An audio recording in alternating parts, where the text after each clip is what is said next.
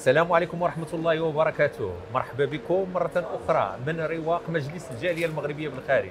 وتحديدا من خلال برنامجكم تا مغربي قناة أواصر تي في قناة مغاربة العالم. هذه المرة نلتقي بمدينة الأنوار الرباط عاصمة الأنوار عاصمة الثقافة في العالم الإسلامي. وفي المعرض الدولي للكتاب والنشر تنحاولوا نقلبوا على الكنوز الثقافية ديالنا تنحاولوا نقلبوا على عناصر التمغربيت اللي هي المحضن ديالنا الجماعي اللي عندها القدرة على استجماع كل الحساسيات والانتماءات والروافد ديال الهوية المغربية. اليوم حلقة اليوم خصصناها للموروث الثقافي. كيفاش هذا الموروث الثقافي ديالنا ممكن نستثمروه في صناعة التنمية المحليه ولهذا الغرض معنا أحد الباحثين الشباب في الأنثروبولوجيا والسوسيولوجيا وهو الباحث سي مصطفى بن زروالة. أهلا وسهلا بك. شكرا جزيلا أستاذي سعيد بالتواجد معك. أشكرك على هذه الاستضافة ونتمنى نكونوا خفاف على المتتابعين ديال آه، قناة أواصر TV بارك الله فيك. التمغربي دائما يعني كبرنامج في إطار قناة في شبكة برامج قناة أواصر TV قناة مغاربه العالم.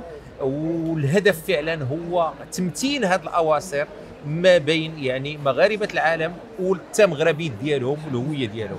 وبطبيعة الحال دائما تنطرح ينطرح سؤال الموروث الثقافي ديالنا خصوصا في العالم القروي. هذا الموروث الثقافي شنو هي القيمة ديالو؟ وكيفاش ممكن حنا نستافدوا منه اليوم في صناعة التنمية اللي هي إشكال حقيقي كنا نطمح إلى الوصول إليه؟ أه تحية لك أستاذي. بالنسبة لهذا السؤال صحيح أنه عنده جدوائته وكيفرض نفسه؟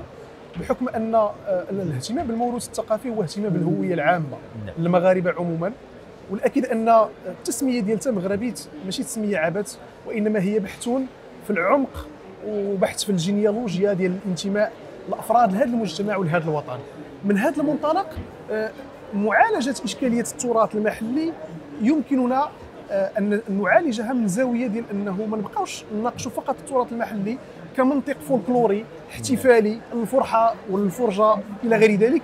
بل اليوم أصبح الحديث عند مختلف الدارسين على أن الموروث الثقافي المحلي والثقافة التحتية المحلية هي مدخل من المداخل ديال آه، التنمية المحلية خاصة وأن المغرب اليوم آه، يشتغل على بوادر مشاريع سياحية محلية وبالتالي لا يمكننا تحقيق هذه المشاريع وتحقيق هذه المدخلات التنموية إلا بتثمين المنتوج الثقافي المحلي بترويجه بإعادة النظر فيه بمأسسته لما لا بالاهتمام بالفاعلين الأساسيين في هذا الموروث الثقافي. وبالتالي كنقول على أساس أنه اليوم آن الأوان فعلا إلى أن نجدد النظر وأن نعيد الاعتبار للموروث المحلي باعتباره نعم. مدخلا من مداخل التنمية ما يميز أيضا سيدي مصطفى هذا الموروث الثقافي ديالنا في المغرب؟ هو أنه واحد الجغرافية لا نهائية. فيها فنون القول فنون الفرجة فيها مجموعة ثقافة الشفوية فيها إبداعات متعددة. والسؤال اليوم آه، كيفاش أن هاد الفنون ديال القول ديال المغرب أنها تلقاو فيها واحد الإبداعية رائعة جدا تلقاو فيها واحد القدرة ديال الإنسان المغربي على التفاوض مع الطبيعة وهذا تلقاو واحد الغنى وواحد الثراء معين.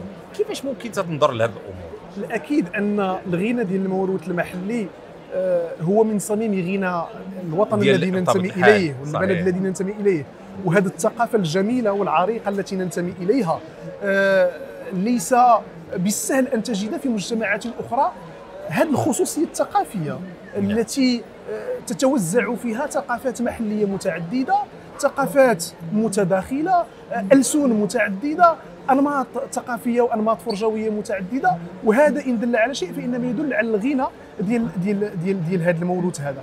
فمثلا كل منطقة فهي منطقة حبلى صحيح. بالقول حبلى بالأغاني حبلى باللباس بالثقافات المحلية بالأكل إلى غيرها. اذا هذا دليل على أن هناك تنوع كبير للموروث الثقافي المحلي. الأساسي هو أنه ينبغي توسيع النظر وتوسيع الأفق في الاشتغال عليه وفي تثمينه بطبيعة الحال وفي إخراجه من قوقعة المحل إلى قو إلى رحابة الوطني ولما لا العالم العالمي والعولمي. أكيد. ما يميز أيضا هذا التمغربيت هو أن فيها واحد القدرة على الاستجماع. وانت عارف بانك ستحضر من منطقة الرماني ومنطقه الزعير تحديدا أنه من تنتاملوا منطقة الزعير تلقاو بأن فيها واحد التداخل وواحد الاستجماع ديال ثقافة عربية ثقافة أمازيغية مكونات إفريقية كل يعني مكونات الهويه المغربية حاضرة. أكيد. وتتلو حنا يعني سواء في الهيت سواء في طقوس الصيد في هذا اللي تيبان هذه القدرة على الاستجماع في التمغربي ديالها أكيد. المنطقة ديال المنطقة ديال زعير هي منطقة آه، يعني جاءت ملتقى بين ملتقى، القبائل صحيح. المتعددة. الجميل في هذه القبائل أنها قبائل متعددة من الناحية الإنسانية ومن الناحية اللغوية. فنجد على أن منطقة زعير يحدها منطقة زاير. تحدها كذلك مناطق أو قبائل الزمور كذلك قبائل عربية اللي هي قبائل بني خيران وغيرها وعرب من القبائل. تماما. تماما. اذا هاد هاد هاد التعددية وهذا الوجود الجغرافي في مفترق قبائلي وثقافي منح المنطقة نوعا من التنوع ونوعا من التعدد وهذا التنوع وهذا التعدد انعكس بالإيجاب على الثقافة المحلية الزعرية فنتحدث مثلا على الم- على العيطة الزعرية نعم وهي من العيطات القلائل اللي موجودة الحب في الزعري. المغرب مثلا صح. والحب الزعري أو فنون القول أو الزجل أو المقولات المحلية اللي صح. مرتبطة بالتمثلات ديال الإنسان الزعري أو آه. بالتمثلات ديال الثقافة المحلية في منطقة زعير.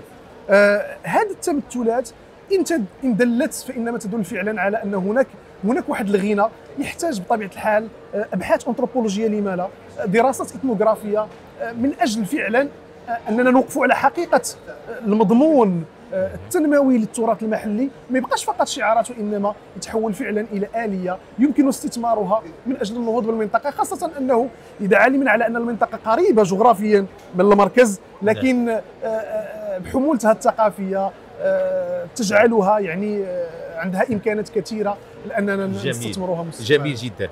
بطبيعة الحال عندنا من تنمشيو مثلا لمنطقه الزعير وغيرها من المناطق المغربية تلقاو إبداعات مهمة جدا. هذه الإبداعات هذا الموروث الثقافي كيفاش اليوم ممكن يكون هو جسر عبور نحو التنمية؟ يعني كيفاش تولي الثقافة مدرة للثروه بهذا المعنى؟ سواء ثروه رمزية أو ثروه مادية.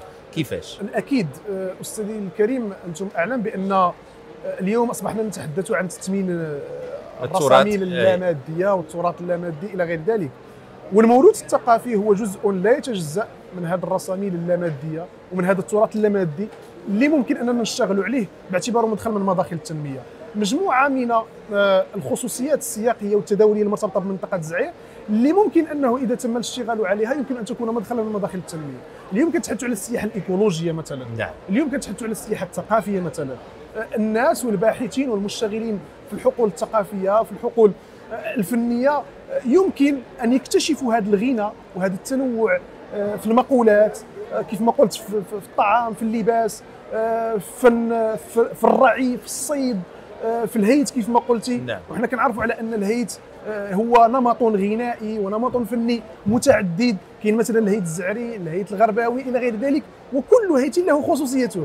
نعم. اذا عبيدة الرماء أيضاً. تماما عبيدة الرماء لما لا نفكر بشكل جماعي وندير واحد التمرين منهجي كيف يمكننا أن نؤول هذا التراث وكيف يمكننا أن نستثمر هذا التراث المحلي لنحوله بطبيعة الحال آه، بشكل مؤسساتي بشكل ممنهج بشكل مخطط له لنحوله إلى مدخل فعلا السي مصطفى بن زروالة ونحن مثلا نتأمل بعض الرقصات خصوصا مثلا الهيت ولا نتأمل عبيدة الرمى وهذا الأمر لا يتعلق برقصات يعني مفرغة من الدلالة ولا من المعنى. يعني فيها رسائل فيها يعني معنى وسيميولوجي بالاساس تماماً. والمفروض من الباحثين اليوم هو أنهم ينفتحوا بقوة على هذا ما أنتجه الإنسان في هذا أكيد. مثلا عندما يعني تختبر وتعمل على تحليل بعض المقولات السائدة مثلا في العيطة الزعرية أو في المقولات ديال الهيت الزعري إلى غير ذلك تجد مجموعة من الرسائل مجموعة صحيح. من الدلالات مجموعة من الرموز. كيف وظف الإنسان الإنسان الزعري المقولات؟ كيف وظف الجسد؟ صحيح. طريقة الرقص. اللباس ديال ديال ديال الرقص صحيح. ومجموعة من الم- المقولات اللي هي مشهورة وكنرددوها ولكن لا نعرف دلالتها صحيح. الحقيقيه ودلالتها العميقة مثلا عندما نتحدث عن بعض المقولات التي كانت تساهم في تثوير مثلا صحيح. المقاومين ضد الاستعمار الفرنسي. بعض ال- ال- ال- ال- ال- الأغاني التي تدعو إلى العمل تدعو إلى قيم الإنسانية صحيح. إلى قيم الاختلاف إلى قيم التعايش اذا مجموعة من المقولات اللي هي سائدة في تراث محلي لربما لا نلقي لها بالا ولكن في عمقها فيها مجموعة من الدلالات الرمزيه. التي نحتاج إلى وهذا هو الهدف ديال 2030. التمغربيت هو أن نقلبوا في هذه الكنوز الثقافيه ديالنا نقلبوا في هذه الكنوز البشريه ديالنا ونكتشفوا هذا الغنى وهذا الثراء ديال التمغربيت شكرا لك سيدي مصطفى كنت. معنا من رواق مجلس شكراً المغربيه. بالخارج وتحديدا برنامج تمغربيت شكراً اللي. تيقلب على هذه الكنوز وبطبيعة الحال الحديث معك ممتع. وشيق انعطف. بنا نحو الموروث الثقافي نحو منطقة الجزائر نحو غيرها من المناطق وهذا دليل على غنى المغرب وعلى ثراء تمغربي شكرا لكم أيها الأحباب. نلتقي في فرصة قادمة مع ثراء وغنى التمغربي. دمتم أوفياء للبرنامج وإلى اللقاء.